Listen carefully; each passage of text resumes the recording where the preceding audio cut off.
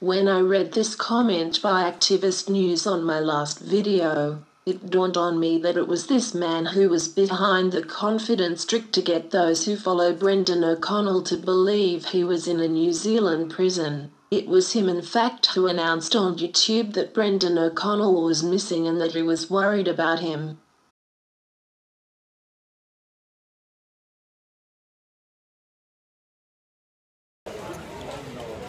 Ladies and gentlemen, welcome back to Activist News. Today I wanted to talk about something that's um, quite serious.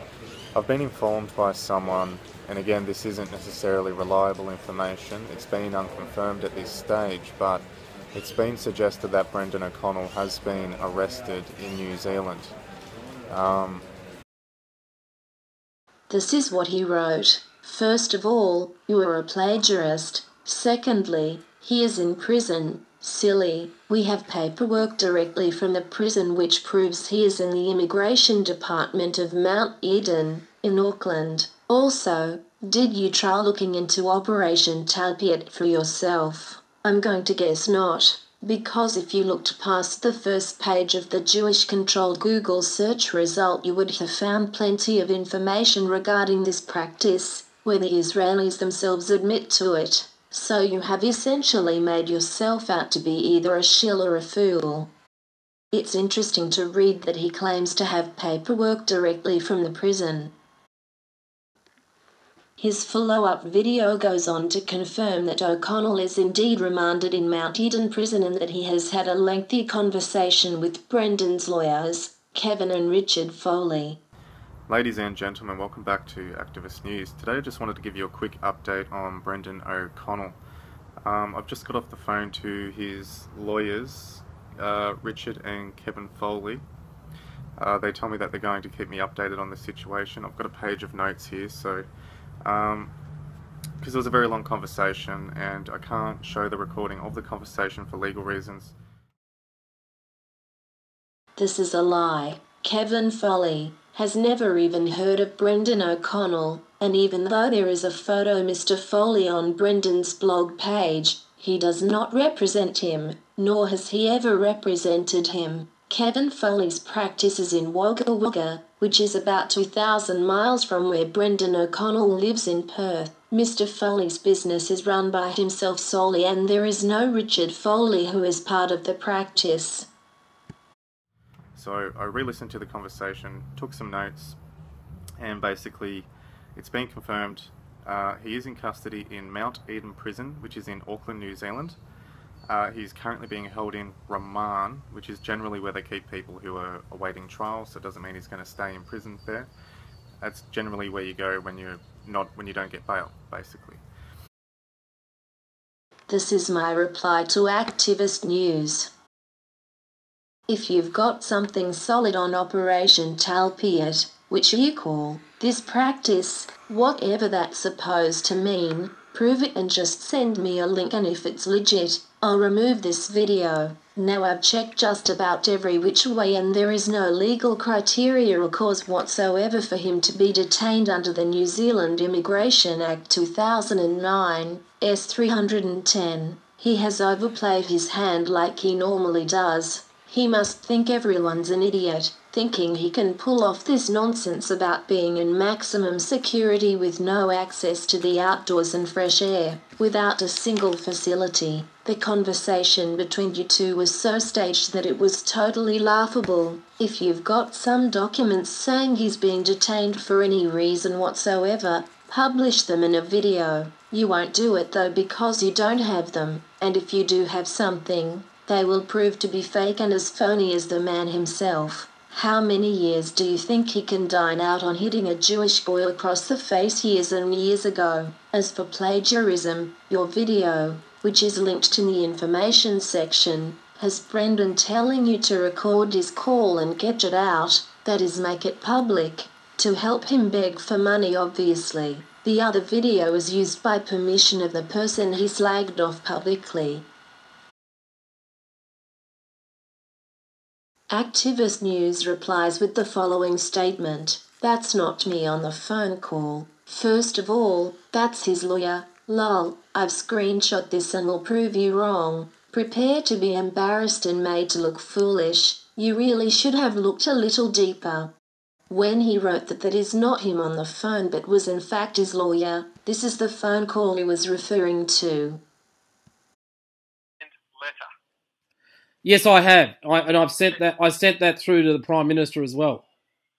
Right, but if you could get onto like there's a guy called Nicky Hager, he writes about my material and try and get some people to come in when you can. But the biggest thing is is that hey, I can talk with you, do an interview, and put the audio out. That they are detaining us in a highly high risk environment, totally contrary to the United Nations rules on the treatment of prisoners and asylum seekers.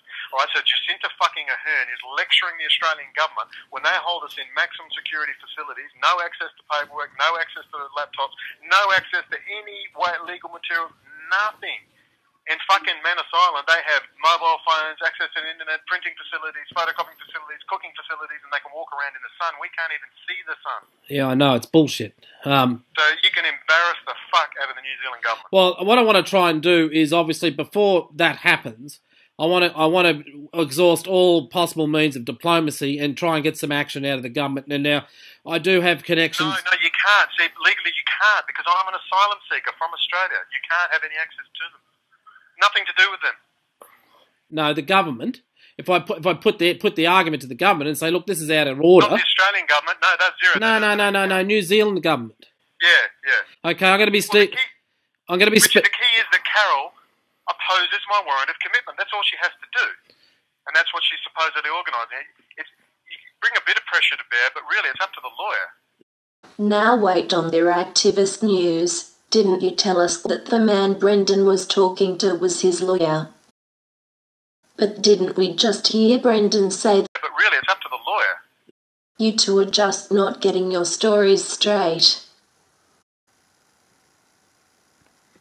My response to your comment where you say, proof of the Talpiot program being legit, you dumbass. I say, the Talpiot program has been thoroughly dealt with in my video starting at 1704. Click on the time to go there direct. You are being deliberately underhanded or stupid. It's both or one of the two. The Talpiot program is not a secret service intelligence operation with kill switches on foreign power grids, police phone systems, EFTPOS systems, ATM machines, train lines, WINZ payment software, NovoPay, or even on the entire internet. Like Brendon O'Connell insists is what Operation Talpiot is all about. The Talpiot program, on the other hand, started in 1973 after the Yom Kippur War, and is an elite military unit pretty much like other countries' elite forces, such as the Navy SEALs, the Green Berets, or the SAS. It has never been a secret intelligence unit. They are soldiers attached to the IDF. This is you being a deceiver and filling this comment section with useless links already mentioned in my video. Operation Talpiot is a story made up by the lying con artist, O'Connell. I will add, for the sake of the listener to this video, the first thing to notice is that you have deceptively changed the name of Operation Talpiot to the Talpiot program, having told me that if I'd looked past the Jewish controlled Google search, I would have found plenty of information regarding this practice. Now, as I mentioned in my reply comment, considering that there is plenty of information offered up in my video about the Talpiot program, which is about the IDF Special Military Forces, and has nothing to do with Brendon's supposed Jewish intelligence arm of the Secret Services he calls Operation Talpiot, who he tells us operate high technology kill switches in every country and employ kill squads around the world, which he said were used in the Las Vegas massacre. Your proofs of the Talpiot program being legit, after calling me a dumbass, are nothing more than a link to a Wikipedia page about, would you know it, the Talpiot program. So much for needing to look past Jewish owned Google results. Your next few links are simply the same as offered up in my video obtained through a simple Google search. Now we come to the most important part, where you provide links to prove that Brendon O'Connell is in prison, and not forgetting, of course, that you have already said that He is in prison. Silly. We have paperwork directly from the prison which proves he is in the Immigration Department of Mount Eden, in Auckland. Now, starting with your brief, but seemingly standard insulting reply, you say, proof that Brendon was arrested and jailed, you dumbass. You then provide us with a link, giving us our first glimpse of the paperwork you received directly from the prison, which you say proves he is in the Immigration Department of Mount Eden, in Auckland. This is the first link you provide which shows us a copy of the paperwork that was sent to you. Regarding this paperwork, the first notable oddity is that it is long and narrow, and quite unlike any normal letter that one would receive in the post. Let's read this as written, without adding or correcting any punctuation. Department of Corrections. We have now spoken with Mr. O'Connell who has consented to us advising you that he is currently being held in Mount Eden Corrections Facility. If you wish to contact Mr. O'Connell via mail, you can do so through the below address. Private Bag 92616 Simon Street, Auckland 1150. If you wish to visit Mr. O'Connell, he will need to provide you with the visitor application forms. You can find further information regarding contacting prisoners in the below links. I apologize for the delay in you receiving this information. Kind regards Ministerial Services, Department of Corrections Arapata Marae Otira Mayfair House 44-52 The Terrace Private Box 1206 Wellington.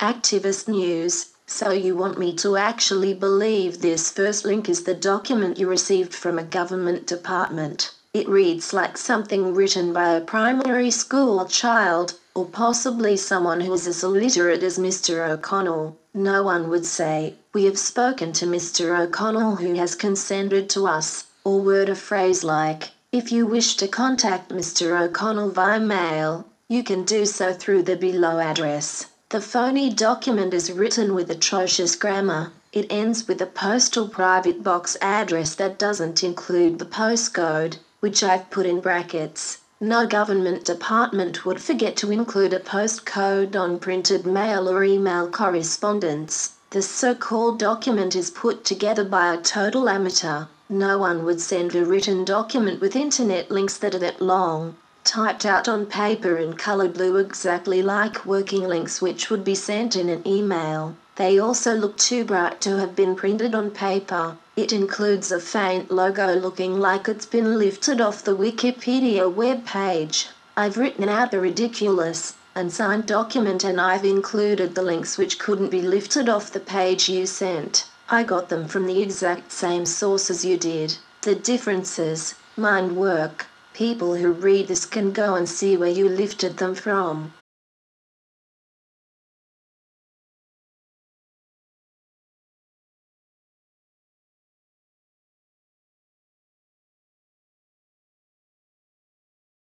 How stupid do you think people are? Your first link, which is to the document you supposedly received from the Department of Corrections, is fake and proves nothing except that you're lying.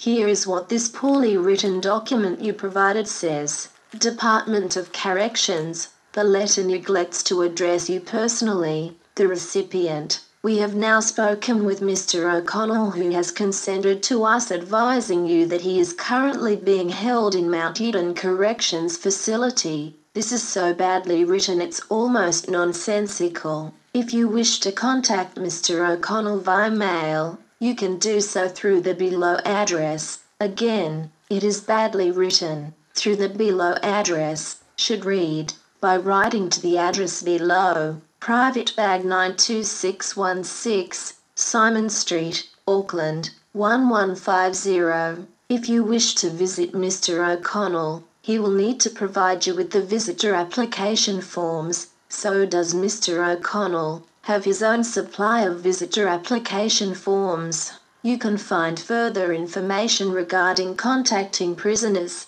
in the below links. Again, this should read via the links below. And what does it mean? Contacting prisoners. The letter is supposed to be about Mr. O'Connell personally, and not about prisoners in general, and you don't type out ridiculously long links in a letter and print them out in blue ink. This is why it is obvious that you lifted them off the government website. I apologize for the delay in you receiving this information. So now you have a personal apology from the unknown writer, who started the letter as We. Kind regards Ministerial Services. There is no signature. Department of Corrections, Arapauta Marae Otiroa, Mayfair House, 44 52 The Terrace, Private Box, 1206, Wellington. This private box mailing address is missing the 6011 postcode. It is so patently obvious that this is a fraudulent document put together by an amateur. Your second link is to the YouTube video that is supposed to be a conversation between Brendon O'Connell and his lawyer. Incidentally, as I've already mentioned, this video looks like it was made by the person who first announced to YouTube that Brendon had been taken into custody in New Zealand. Activist News Your third link gives us a look at what is supposed to be Brendon's handwritten letter to Carol that she has been asked to forward on to Kevin and Richard Foley. We don't know who this person Carol is supposed to be but we do know that she was mentioned in the fake telephone call from the prison video.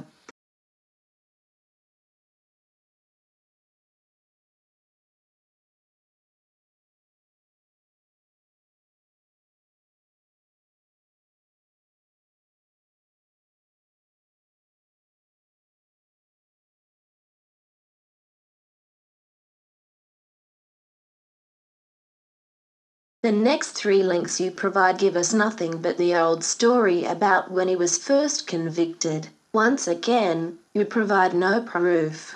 You have not proved that he is in prison anywhere, in particular, that he's imprisoned in New Zealand, where they would have no grounds to hold him for any reason whatsoever. It's absolute garbage, and you have just proved it with your useless efforts at trying to convince me and others that this con artist is locked down in maximum security. He's free to do as he pleases. No one is after that loser for anything at all.